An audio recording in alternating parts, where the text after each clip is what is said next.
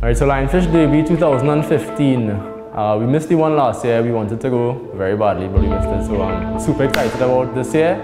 And um, we have the opportunity to attend. I've been doing a little bit of work at IMA on it to help promote it a little bit. And I just, like, we're very excited to go and hunt some lionfish.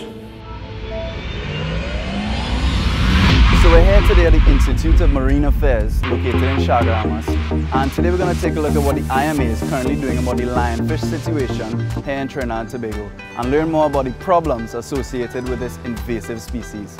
So let's go inside and take a look at what they're up to.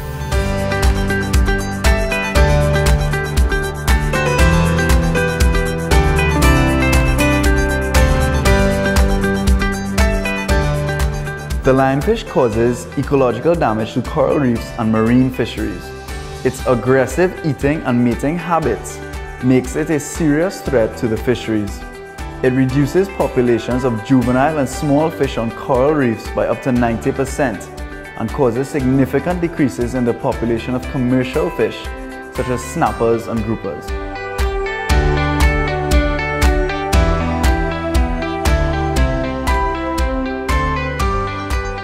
The lionfish can be identified by its distinctive red, maroon and white stripes or bands covering the head and body, black spots on tail, fleshy tentacles above eyes and below the mouth, fan-like pectoral fins, 13 long separated dorsal spines, 3 anal spines and 2 pelvic spines.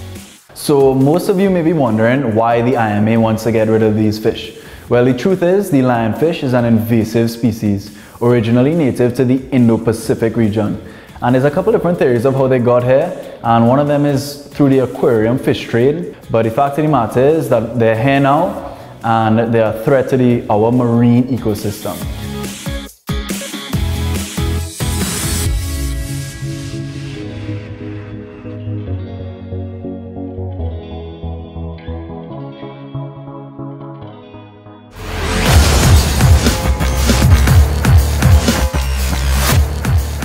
Down in Tobago.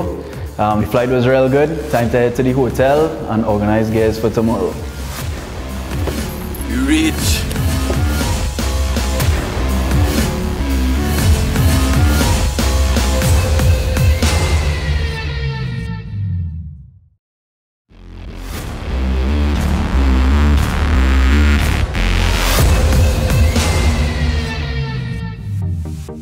So again, across Tobago was a little bit of a scene. All the flights were booked up, but we chartered a plane. And it, it was a little expensive, but it turned out to be sick, real sick.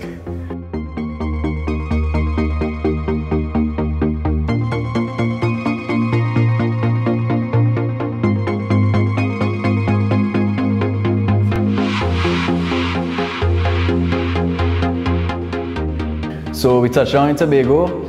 Um, the flight was real good. Time to head to the hotel and organize gears for tomorrow. Reach.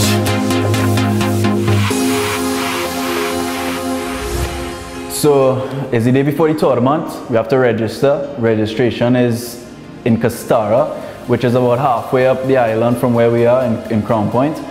So we're gonna take the scenic route, take our time, check the views out and just have a good time until we get there.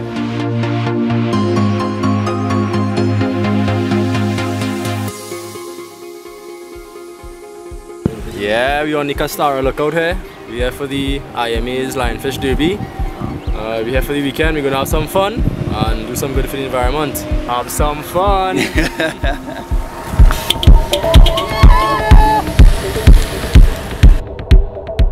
okay, we got to the registration. Um, we were the, first people there, I guess, because we were so excited to get this thing going. And uh, they had a lionfish set up in a tank. So it's kind of cool to see, you know, something that is not local to our waters in a tank present in our waters. They caught it apparently a couple days before in Tobago. Just, just to show people, you know, what they look like and what they're going to be looking for when you're hunting these things. So you know, the IMA crew was there, and I think what was good about it, they were giving out some cool gadgets to hunt the lionfish. We got some really neat pole spears and some catch bags to put the lionfish in. And we just went through a briefing and what's going to happen, what's going to happen over the next two days, and we just got amped up for it.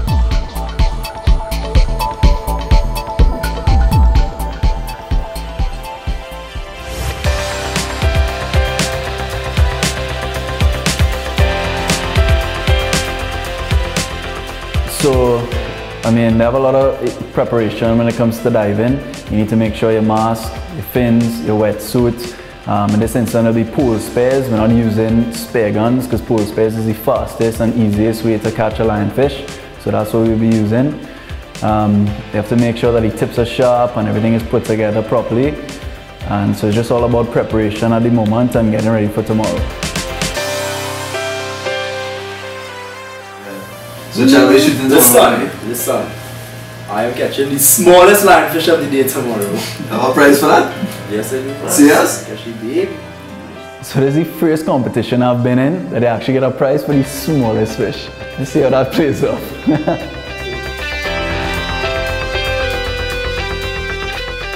Just looking forward to um, having a fun day with my friends, you know, free diving, crystal clear water in Tobago and hopefully have an impact on the lionfish population here and have fun doing it.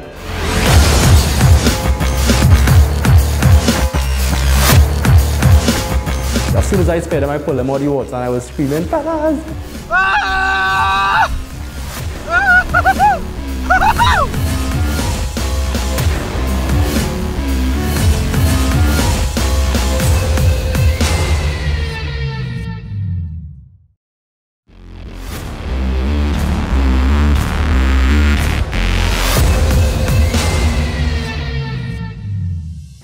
Okay, 5 a.m. the alarm goes off. I get up and start to organize my business. Checking with Christian and Josh. It seems that they're not even up yet, and starting to put us behind already. You know, it's it's late and we need to get we need to get going.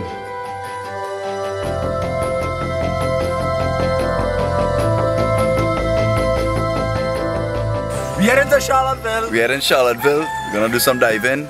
Um, catch some lionfish for the lionfish tournament. It's 5.30 in the morning and we were supposed to be there by 6. I don't know how we're making this, but we'll try something. Really? What are you doing to me, Reese? Relate. Let's go. As usual. Oh, relate. Let's go.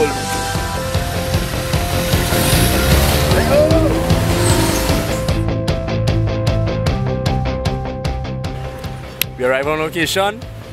The water looks clean. And we're gonna go lionfish hunting. Oh, what are we seeing there? Lionfish right there.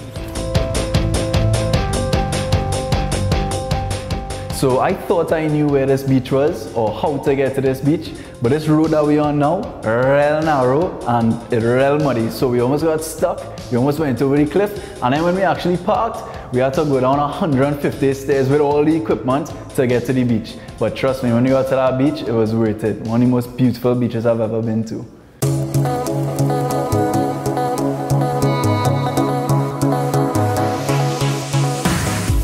Never been to Paris before to hunt the lionfish, and you know they look really good. Everything looked really good. Just to, to go and shoot some lionfish. So from what I know, lionfish like to congregate around structures such as reefs and rocks, and anything like that. So we now came, up, came across our first set of rocks and um, we're hoping to find some lionfish.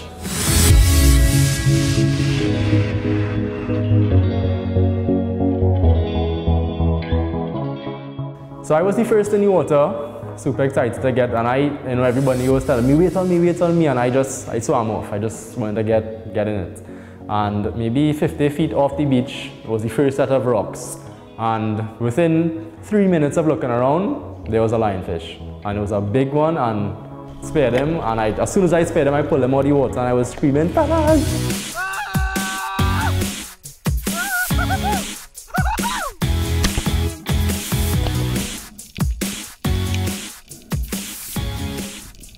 Chad was a good ways out in front of me and I saw him holding up a lionfish.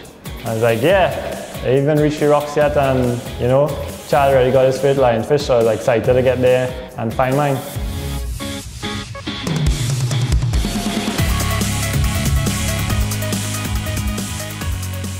What we realized is that these lionfish like to hang around rocks and where we're hunting is mainly sand. So, but once you find a group of rocks or a pile of rocks, you're gonna see lionfish. And after Stephanie got a couple in the bag, we moved to our next spot and we found a group of rocks and of course they had a lionfish. So I went down, pulled back my pole spear, line up one and that was it. Put my first one in the bag. I'm feeling proud.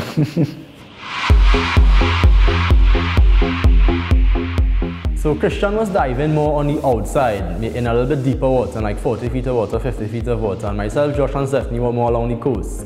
And every now and then I would, I would peep up above the water to see, you know, where everyone was. And I, I looked up and I saw Christian. Christian was screaming and I raced over to where Christian was. And there was this big rock in the middle of, just off in the middle of the sand, off the, off the coast. And uh, one drop on the rock and there was like maybe eight lionfish on this one stone and all of them were huge.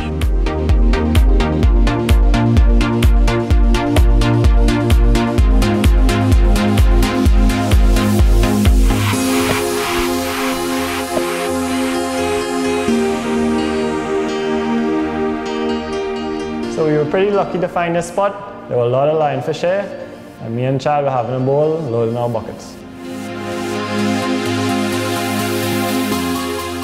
Know, so clearly we see that, uh, that the lionfish, are, they seem to be taking over Pirates Bay area, you know, every single rock is lionfish. And then, you know, you realize what IMA is, is pushing and what they're promoting is how important it really is, you know, to the ecosystem of Pirates Bay. You know, the day, the day was going on and you be diving and shooting lionfish one after the next and you're not really seeing any other life. You know, normally you would see a lot of different fish, but it just seemed that it was just all lionfish everywhere.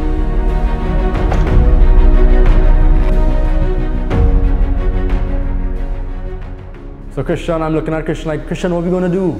And he's like, well, we have to go to shore. We need to, we need to offload because we have no more room. So we, we swam to shore and there were these rock clusters we found and we climbed up on the shore and we emptied our buckets and took all the lionfish and hid them under some leaves. And we had two piles of lionfish just there on, under the rocks. Oh! oh Lord! So we went back to the rocks where we, where we put our lionfish catch before and started to offload our buckets again and we're looking at like oh my look at the amount of lionfish we have and how how are we gonna get these back? And we started looking around and we see these vines hanging down from the trees. So I start to pull one down and pull out my knife and cut a vine and start to thread the lionfish on the vine. And Christian started to do the same thing. And we had basically two strings of lionfish. And uh, we couldn't hunt anymore because we had these strings of lionfish we had to take back to shore so we swam back to shore with the strings of lionfish and two of us were just swimming and the long strings of lionfish behind us. It's amazing the amount of lionfish they have out there. Myself and Christian only hit like basically one spot and we filled up the buckets in about five minutes and we ordered a room and so we had to go to shore, get a vine, Christian has another.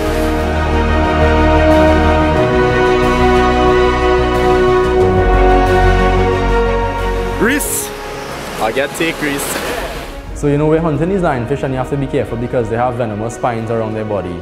And especially ones on the dorsal fins, they're the biggest ones. And um, Christian was putting one in his bucket and he was pushing it in and I just saw him pull his hand back and started to hold his hand and I, I, I just started to laugh because I you already know what happened, he got stung. Myself and Christian got stung from the lionfish but it's okay. It's a nice thing. It's a nice thing. All four times that. Myself and Christian hitting a cool 100 today. Yeah. We have about almost 40. Yeah, more than that. Almost 40. Almost 50, yeah. So we hit any 100. Gotta get done. So we reached back on the beach and Steph and I realized that Christian and them load. We had a catch up. So we decided we're going to a new location to try and catch up to these fellas.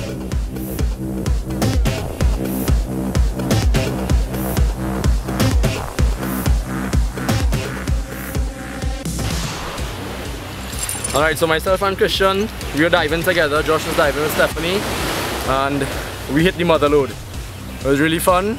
We gathered about 40 and yeah, it was, I mean, Lionfish Derby 2015.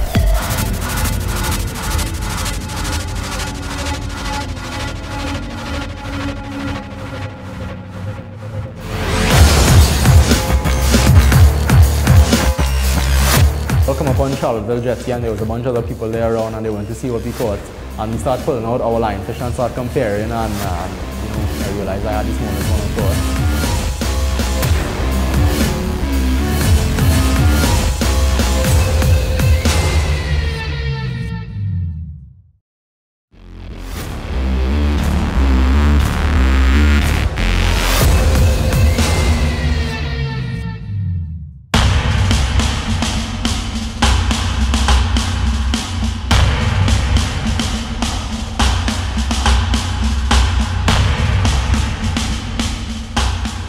How's your last dive?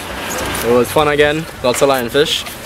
Josh got a couple, he's got a couple, I got a couple. We finished the last dive. Time is drawing close. You know, we are going to have an hour to get back to, to Castara, to the weigh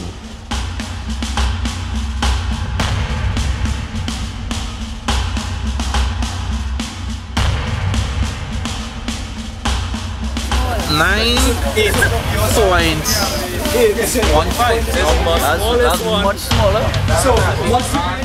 So we got to the weigh station and it's a lot more people than I originally anticipated. Obviously the event is doing well and I can't wait to see how we do.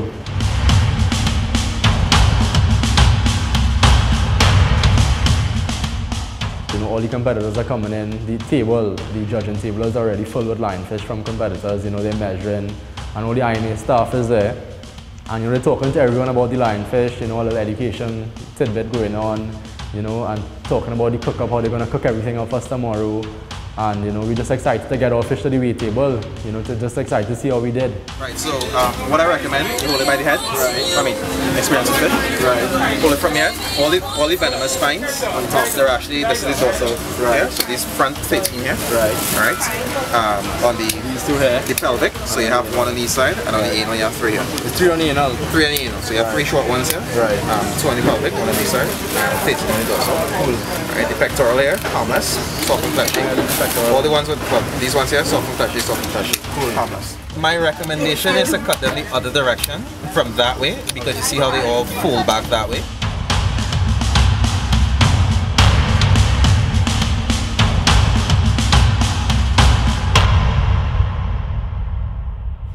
So we're at the weigh station, there's a lot of action going on. What they're doing is measuring the fish. So they're showing you how to properly handle the fish and how to properly measure the fish. And of course, what spines to look out for, which are the venomous ones and which are the non-venomous ones. And I think they have some cooking going on too. Man, hungry. So as you would have seen from yesterday when we were despining the fish, we took the spines off and then we gave each restaurant the whole fish. So they filleted the fish and seasoned it up. So this is the result before it goes in the pot.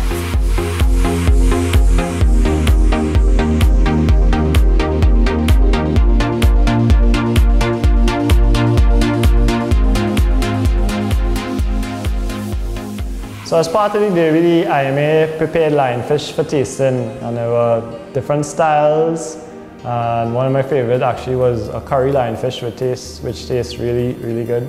And this was actually my first time eating lionfish.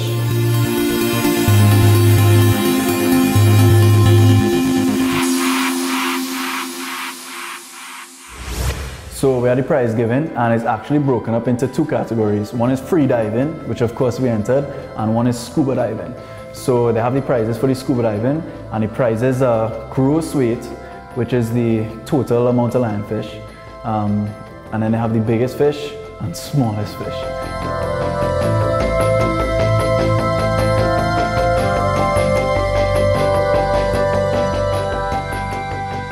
So the, the tournament has come to an end and hats off to the Institute of Marine Affairs. They put on a fantastic event. It was super fun.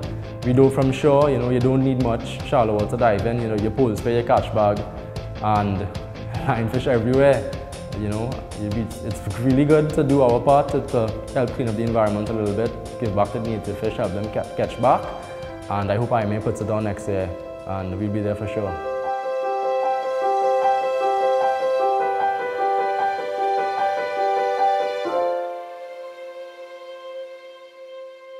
If you see or catch a lionfish in our coastal waters, these details will be useful.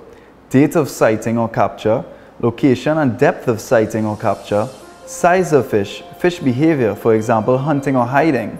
Please contact the IMA at 634 4291.